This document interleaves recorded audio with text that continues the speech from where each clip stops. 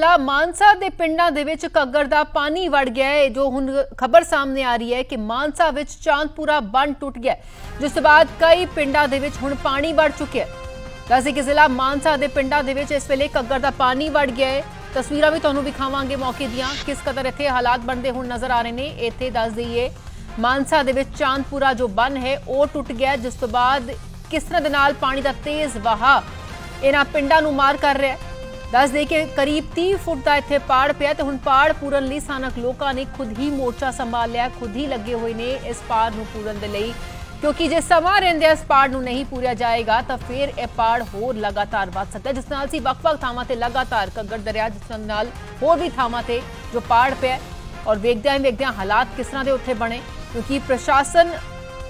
ਮੌਕੇ ਤੇ ਮਦਦ ਕਰਨ ਲਈ ਜੇ ਨਹੀਂ ਪਹੁੰਚ ਪਾਏਗਾ ਤਾਂ ਫਿਰ ਇਹ ਮੁਸ਼ਕਿਲ ਹੋਰ ਵੀ ਜ਼ਿਆਦਾ ਖੜੀ ਹੋਏਗੀ ਤੇ ਹੋਰ ਵੀ ਕਈ ਪਿੰਡ ਇਸਦੀ ਮਾਰ ਹੇਠ ਆ ਜਾਣਗੇ।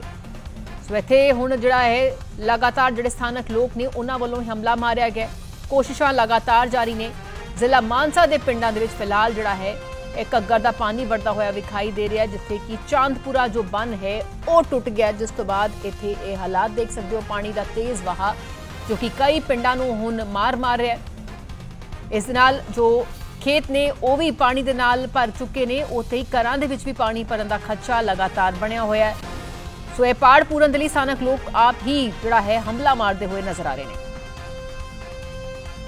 ਨਵਦੀਪ ਅਲਵਾਲੀਆ ਸਾਡੇ ਨਾਲ ਇਸ ਵੇਲੇ ਮਾਨਸਾ ਤੋਂ ਜੁੜ ਚੁੱਕੇ ਨੇ, ਉਹਨਾਂ ਤੋਂ ਅਪਡੇਟ ਲੈਣੇ ਨਵਦੀਪ, ਜਿਸ ਤਰ੍ਹਾਂ ਦੇ ਨਾਲ ਅਸੀਂ ਵੇਖ ਪਾ ਰਹੇ ਹਾਂ ਕਿ ਇੱਥੇ ਜੋ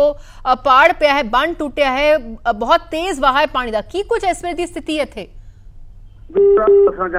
ਹਰਿਆਣਾ ਦਾ ਪਿੰਡ ਚਾਂਦਪੁਰਾ ਜਿੱਥੇ ਪੰਜਾਬ ਵੱਲੋਂ ਬੰਨ ਲਗਾਇਆ ਗਿਆ ਸੀ ਜਿਹੜਾ ਘੱਗਰ ਦਾ ਵੀ ਸਵੇਰ ਅੱਜ 6 ਵਜੇ ਦੇ ਕਰੀਬ ਹੈ ਜਿਹੜਾ ਪਾੜ ਪਿਆ ਔਰ ਸਾਫ਼ ਕਹਿ ਸਕਦੇ ਆ ਕਿ ਇਹ ਪ੍ਰਸ਼ਾਸਨ ਦੀ ਨਲਾਇਕੀ ਹੈ ਕਿਉਂਕਿ ਜਿਵੇਂ ਪਿੰਡ ਵਾਸੀ ਕਹਿੰਦੇ ਨੇ ਕਿ ਉਹਨਾਂ ਨੂੰ ਕੋਈ ਵੀ ਸਮਾਨ ਨਹੀਂ ਦਿੱਤਾ ਗਿਆ ਜਿਸ ਤਰ੍ਹਾਂ ਪਹਿਲਾਂ ਪਾੜ ਪਿਆ ਸੀ ਔਰ ਅਹ, ਇਹ ਵੀ ਦੱਸਦੀ ਹੈ ਕਿ ਬੀਤੇ ਦੋ ਦਿਨ ਪਹਿਲਾਂ ਮੈਂਬਰ ਪਾਰਲੀਮੈਂਟ ਹਰਸਿਮਰਤ ਕੌਰ ਬਾਦਲ ਵੀ ਇੱਥੇ ਆਈ ਸੀ ਅਧਿਕਾਰੀਆਂ ਨੂੰ ਝਾੜ ਵੀ ਲਗਾਈ ਸੀ ਵੀ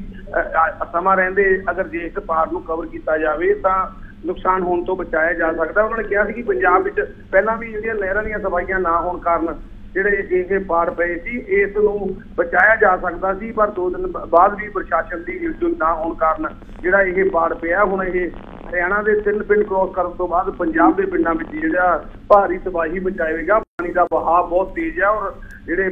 ਪਿੰਡ ਵਾਸੀ ਹੈ, ਪਿੰਡ ਵਾਸੀ ਪ੍ਰਸ਼ਾਸਨ ਨੂੰ ਤੇ ਸਰਕਾਰ ਨੂੰ ਜ਼ਰੂਰ ਕੋਸ ਰਹੇ ਨੇ ਔਰ ਦੂਜੇ ਪਾਸੇ ਸਤੂਰਗੜ੍ਹ ਦੇ ਪਿੰਡ ਵਿੱਚ ਦੀ ਲੰਘਦੀ ਘੱਗਰ ਜੋ ਕਿ ਜਿਸ ਵਿੱਚ 40 ਫੁੱਟ ਦੇ ਕਰੀਬ ਹੈ ਜਿਹੜਾ ਪਾੜ ਪਿਆ ਹੈਗਾ। ਉਸ ਵਿੱਚ ਵੀ ਜਿਹੜਾ ਜ਼ਿਲ੍ਹਾ ਪ੍ਰਸ਼ਾਸਨ ਦੀ ਨਾਕਾਮੀ ਸਾਹਮਣੇ ਆਈ ਹੈ ਔਰ ਪਿੰਡ ਵਾਸੀਆਂ ਨੇ ਕਿਹਾ ਕਿ ਪਹਿਲਾਂ ਤਾਂ ਜ਼ਰੂਰ ਸਾਡੇ ਬੋਰੀਆਂ ਭਰਵਾਈਆਂ ਗਈਆਂ ਔਰ ਪ੍ਰਸ਼ਾਸਨ ਦਾ ਅਧਿਕਾਰੀ ਜਿਹੜਾ ਮਾਰ ਰਹੇ ਸੀ, ਪਰ ਜਦੋਂ ਹੀ ਪਾੜ ਪੈ ਗਿਆ ਤਾਂ 40 ਫੁੱਟ ਦੇ ਕਰੀਬ ਪਾੜ ਪੈ ਚੁੱਕਿਆ ਤੇ ਅਧਿਕਾਰੀ ਉੱਥੇ ਕੋਈ ਵੀ ਨਹੀਂ ਹੈ। ਪਿੰਡ ਵਾਸੀ ਆਪਣੇ ਪੱਧਰ ਤੇ ਆਪਣੇ ਆਪ ਨੂੰ ਬਚਾ ਰਹੇ ਨੇ, ਨਾ ਕਿ ਪਾੜ ਨੂੰ ਫੂਲ ਰਹੇ ਹੈ ਜੀ ਜਿਹੜਾ ਬਿਲਕੁਲ ਔਰ ਜੇ ਵਿਚਕਾਰ ਮੁਸ਼ਕਿਲ ਜਿਹੜੀ ਆਉਣ ਵਾਲੇ ਸਮੇਂ ਜ਼ਰੂਰ ਫਿਰ ਖੜੀ ਹੋ ਜਾਏਗੀ ਜਿਸ ਤਰ੍ਹਾਂ ਅਸੀਂ ਹੋਰ ਨਾ ਥਾਵਾਂ ਤੇ ਵੀ ਦੇਖਿਆ ਕਿ ਜਿਹੜਾ ਪਾੜ ਅ, ਘੱਗਰ ਦਰਿਆ ਦੇ ਵਿੱਚ ਪਿਆ ਹੈ ਦੇਖਦੇ ਹੀ ਦੇਖਦੇ 100 ਫੁੱਟ ਤੋਂ ਉੱਪਰ ਚਲਾ ਗਿਆ ਔਰ ਜੇ ਇੱਥੇ ਵੀ ਸਮਾਂ ਰਹਿੰਦਾ ਕਦਮ ਨਾ ਚੁੱਕੇਗਾ ਤਾਂ ਯਕੀਨਨ ਇਹ ਹੋਰਨਾਂ ਪਿੰਡਾਂ ਨੂੰ ਵੀ ਆਪਣੀ ਪੂਰੀ ਤਰ੍ਹਾਂ ਦੇ ਨਾਲ ਚਪੇਟ ਚ ਲਵੇਗਾ? ਬਿਲਕੁਲ ਇਹ ਜਿਹੜਾ ਚਾਂਦਪੁਰਾ ਬੰਦ ਦਾ ਜਿਹੜਾ ਪਾੜ ਪਿਆ ਹੈ, ਇਸ ਦਾ ਜਿਹੜੀ ਤਬਾਹੀ ਆ ਬਹੁਤ ਜ਼ਿਆਦਾ ਹੋਣੀ ਹੈ ਕਿਉਂਕਿ ਨ- 1993 ਵਿੱਚ ਜਿਹੜਾ ਇਹ ਪਾੜ ਪਿਆ ਸੀ ਤਾਂ ਤਕਰੀਬਨ ਮਾਨਸਾ ਸ਼ਹਿਰ ਦੇ ਵਿੱਚ ਵੀ ਜਿਹੜਾ ਇਸ ਦਾ ਪਾਣੀ ਆਇਆ ਸੀ ਔਰ ਕਾਫੀ ਜਿਹੜਾ ਸਤੂਗੜ ਤੱਕ ਆ ਜਿਹੜੇ ਇਹਨੇ ਮਾਰ ਕੀਤੀ ਸੀ ਕਿਉਂਕਿ ਪਿਛਲੇ 93 ਤੋਂ ਜ਼ਿਆਦਾ ਪਾਣੀ ਦਾ ਬਹਾਅ ਆ ਉਹ ਬੜੀ ਤੇਜ਼ੀ ਨਾਲ ਜਿਹੜਾ ਪਾਣੀ ਵੱਧ ਰਿਹਾ ਹੈ, ਉਸ ਤੋਂ ਲੱਗਦਾ ਕਿ ਇਹ 93 ਤੋਂ ਵੀ ਜ਼ਿਆਦਾ ਜਿਹੜੀ ਤਬਾਹੀ ਮਚਾਵੇਗਾ ਔਰ ਇਸ ਤੇ ਬਿਲਕੁਲ ਸਾਫ਼ ਹੈ ਕਿ ਪ੍ਰਸ਼ਾਸਨ ਵੱਲੋਂ ਸਮਾਂ ਰਹਿੰਦੇ ਜਿਹੜੇ ਪ੍ਰਬੰਧ ਨਹੀਂ ਕੀਤੇ ਗਏ, ਜਿਹਦਾ ਖਮਿਆਜਾ ਅੱਜ ਮਾਨਸਾ ਦੇ ਜਿਹੜੇ ਪਿੰਡਾਂ ਦੇ ਲੋਕਾਂ ਨੂੰ ਭੁਗਤਣਾ ਪਵੇਗਾ ਤੇ ਹੁਣ ਵੀ ਸਮਾਂ ਰਹਿੰਦੇ ਅਗਰ ਪ੍ਰਸ਼ਾਸਨ ਇਸ ਵਿਭਾਗ ਨੂੰ ਪੂਰਨ ਵਿੱਚ ਕਾਮਯਾਬ ਹੋ ਜਾਂਦਾ ਤਾਂ ਆਪਾਂ ਕਹਾਂਗੇ ਕਿ ਪ੍ਰਸ਼ਾਸਨ ਦੀ ਬਹੁਤ ਵੱਡੀ ਉਪਲਬਧੀ ਹੋਵੇਗੀ ਕਿ ਇਸ। ਭਾਗ ਨੂੰ ਪੂਰ ਲਿਆ ਤੇ ਮਾਨਸਾ ਦੇ ਲੋਕਾਂ ਨੂੰ ਬਚਾ ਲਿਆ। ਜੀ। ਬਿਲਕੁਲ ਲੇਕਿਨ ਕਿਆ ਇੱਥੇ ਕੋਈ ਅਧਿਕਾਰੀ ਪਹੁੰਚੇ ਨੇ ਕਿਸ ਤਰ੍ਹਾਂ ਦੇ ਨਾਲ ਕੋਈ ਰਾਬਤਾ ਕੋਈ ਸਰਕਾਰੀ ਮੁਲਾਜ਼ਮ ਜਾਂ ਸਰਕਾਰ ਵੱਲੋਂ? ਦੇਖੋ ਜਿਸ ਤਰ੍ਹਾਂ ਦੋ ਦਿਨ ਪਹਿਲਾਂ ਮੈਂਬਰ ਪਾਰਲੀਮੈਂਟ ਹਰਸਿਮਰਤ ਬਾਦਲ ਗਏ ਸੀ ਤਾਂ ਉਸ ਟਾਈਮ